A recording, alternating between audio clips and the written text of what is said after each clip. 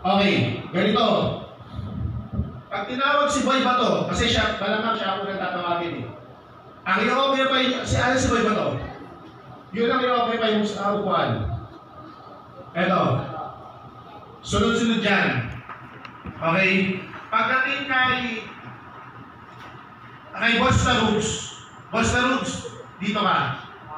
Saka, siguro dito. Okay? Tapos, boy hanging sa tabi ka niya. Ay, oh, boy hanging sa tabi ka niya.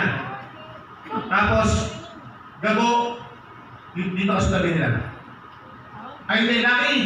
Sila na lang. Dito ka, di- dito ka, kanan. Kanan couch, dulo.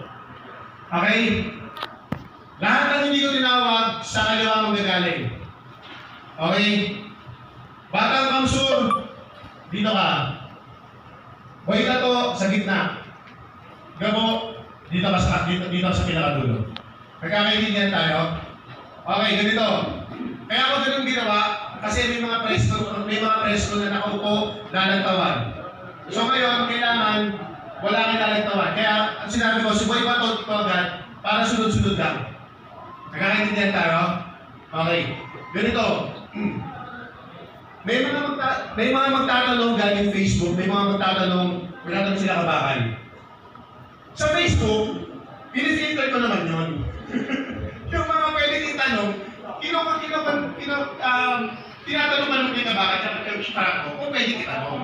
Kaya kung pwede itanong, ipinapatanong ko sa kanila. Okay? Narinig ko, narinig ko kay kabakal kayo na to.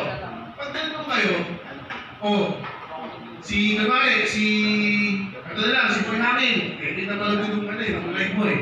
Si Boy Hamin, pero sa to. Pag tinanong kayo, kahit anong tanong, vloggers kayo.